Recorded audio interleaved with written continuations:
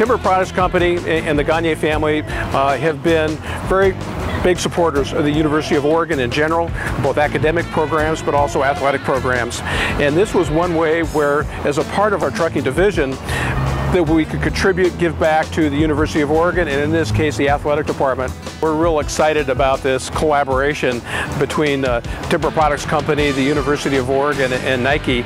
Our TP Trucking division operates in all 48 contiguous states. Uh, this truck is uh, will do and put on about 120,000 miles a year, but this is a, uh, a, standard over-the-highway commercial truck. We will haul all kinds of goods uh, in here, anywhere from uh, ovens and refrigerators to brick and including products from Timber Products Company.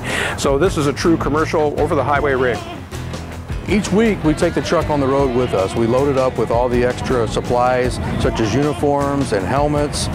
So I'd like to say, you know, TP Products, the Gonyea family, you know, thank you very much. You know, uh, we're really appreciative of, you know, the donors stepping forward and, and helping us out. And um, we, we really appreciate the donation of the truck. And not only when we get it loaded up, we don't have to worry about the security of the truck. We've got a great group of truck drivers that when we get there on Friday night to unload the truck, it's there waiting for us. They help us out.